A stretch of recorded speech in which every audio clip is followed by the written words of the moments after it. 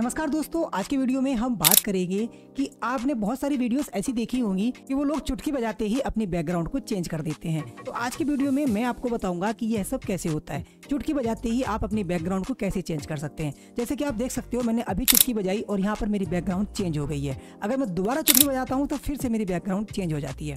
तो यह सब बहुत ही आसान है। आप लोग सोचते होंगे कि और बहुत बड़ा काम है, लेकिन नहीं। यह चुटकी बजाते ही हो जाता है। बहुत ही सिंपल है। जब आप देखोगे तो आप भी अपनी वीडियोस में इस तरीके से अपनी बैकग्राउंड को चेंज कर सकते हैं।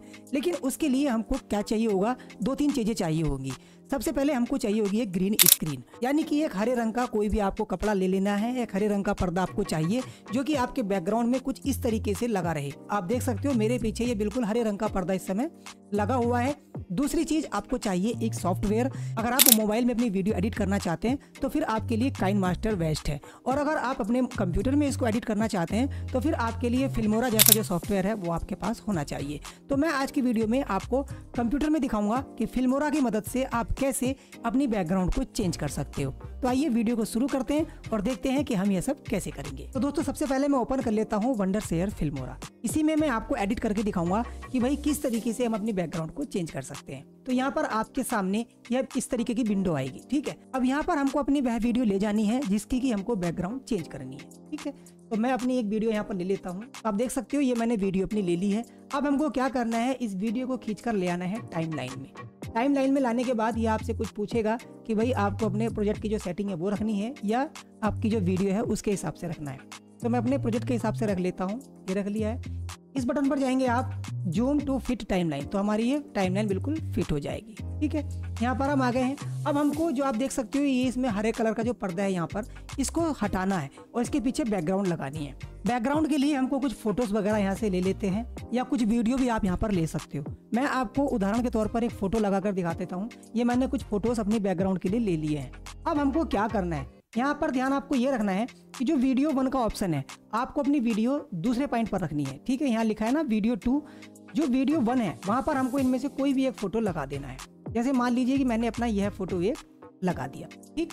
अब हमको क्या करना है कि अभी हमारी वीडियो में जो बैकग्राउंड है वो शो नहीं हो रही है। तो उसके लिए हमको क्या करना होगा, अपनी वीडियो को सेलेक्ट कर लेंगे, जिस पर हमारी ग्रीन स्क्रीन लगी हुई है। तो आपको क्या करना है कि आपके सामने यहाँ लिखा होगा ग्रीन स्क्रीन आप देख सकते हो ये लिखा है ना ग्रीन स्क्रीन इस पर जैसे ही हम क्लिक करेंगे तो हमारी बैकग्राउंड इस तरीके से रिमूव हो जाएगी। लेकिन अभी अच्छी तरीके से रिमूव नहीं हुई है तो उसके लिए हमको क्या करना होगा, हमको ये ड्रॉप ले लेना है। और ड्रॉप लेने के बाद अपने जो आपके ग्रीन स्क्रीन है, इस पर आपको पिक कर देना है कहीं से भी। तो आप देख सकते हो कितने अच्छे से हमारी बैकग्राउंड रिमूव हो गई है, सिर्फ़ एक क्लिक में। अब आपको थोड़े से इसमें एडजस्टमेंट कर लेने हैं अपने हिसाब से कि भाई अगर आपका जो है, ज़्यादा अगर पर्दा आपका दिखाई दे रहा है तो यहाँ से आप इसको ऑफ़ साइड या टॉलरेंस इसका घटा बढ़ा सकते हैं। अब बात करते हैं कि हमारा जो फ़ोटो है, उस पर जो है थोड़ी सी लाइटिंग कम है। तो आपको जाना है कलर वाले ऑप्शन पर, यहाँ टोन पर आना है और यहाँ कंट्रास्ट इसकी थोड़ी सी आपको बढ़ा देनी है। यहाँ पर आपको बढ़ा देनी है। यहाँ थोड़ी सी आपको इसको सेचुरेशन इसकी बढ़ा देनी है और थोड़ी सी आपको बढ़ा देनी है ब्राइटनेस तो आप देख सकते हो कि ब्राइटनेस हमारी बढ़ गई है ठीक है? ये हो गया। अब आपका जो वीडियो है, यहाँ पर अब आप देख सकते हो जो फ़ोटो है, वो हमारा थोड़ा कट के आ रहा है। तो आपको जाना है फ़ोटो पर क्लिक करेंगे। यहाँ क्रॉप का ऑप्शन आपको मिलेगा। इस पर जाने के बाद ये आपको देखना है रेशियो जो रेशियो है, इसका आपको कर देना है 16 अनुपात 9 क्योंकि जो YouTube की वीडियोस होती हैं, वो इसी अनुपात में चलती हैं, ठीक है? तो इस पर आपको क्लिक कर देंगे। अब आप देख सकते हैं अपने आप इसने ऑटोमेटिक ले लिया है। इसको आप जैसे मर्ज़ी वहाँ पर सेट करके ओके कर दीजिए। तो जो आपकी जो बैकग्राउंड है, वो बहुत अच्छे से आपके मतलब फिल हो जाएगी, ठीक है? आप देख सकते हैं यहाँ पर। बिल्कुल फिट हो चुकी है। अब अगर आप वीडियो चलाएँगे तो इस तरीके से आपकी वीडियो चलेगी। देख सकते हैं कि पिछला आपका जो है, इसमें सब ये हट चुका है, ठीक? अब मान लीजिए हमको दूसरा अपना कोई बैकग्राउंड लगानी है, आप यहाँ से कोई और बैकग्राउंड चेंज कर सकते हैं यहाँ पर। इसको लगाएँगे तो अब आपकी वीडियो के पीछे जो है बैकग्राउंड अपने आप ही चेंज हो जाएगी, ये देख सकते हैं। लेकिन इसकी भी जो है, जो रेशियो है इसका भी सही नहीं है तो आप इस पर क्लिक करेंगे क्रॉप पर जाएँगे और इसका रेशियो भी आप सोलह अनुपात नौ पर कर देंगे यहाँ पर। जहाँ मर्ज़ी आपको सेलेक्ट कर लेंगे, यहाँ करके ओके कर देंगे तो हमारी बैकग्राउंड बिल्कुल अच्छे से हो जाएगी।